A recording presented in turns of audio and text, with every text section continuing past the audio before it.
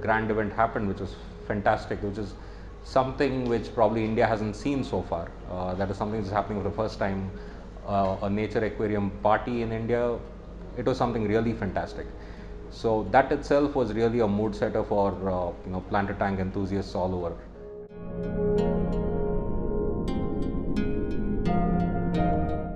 And to all the planted tank enthusiasts out there, I would say entering this contest is the best way you can showcase your tanks and learn a lot as well in the same in the in, at the same time.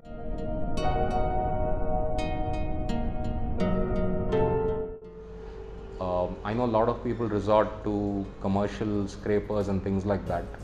Uh, I've got a lot of success with a credit card. Not that I buy something with it, but you can use it to scrape the side of your glass, the edges. It gives a very, you'll be able to really clean out your glass tank.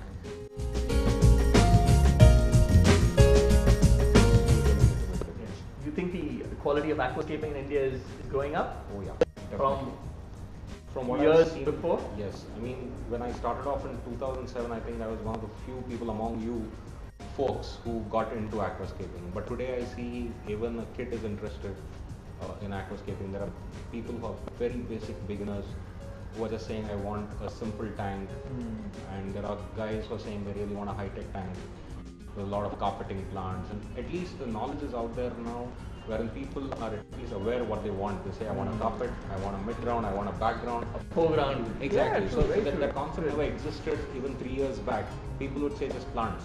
They wouldn't really refer to it as mid-ground, foreground, or background, or epiphytic plants, or whatever it is. Right now, right now it's different. People know what they want. It's just a They're more focused. Exactly. They have a purpose, a goal in mind. exactly.